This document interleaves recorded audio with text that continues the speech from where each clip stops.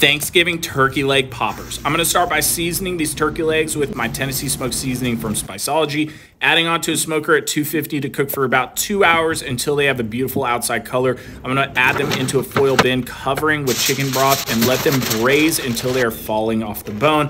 I'm gonna heat up some frying oil to about 375 and then shred those turkey legs, taking off the bone and any excess bones.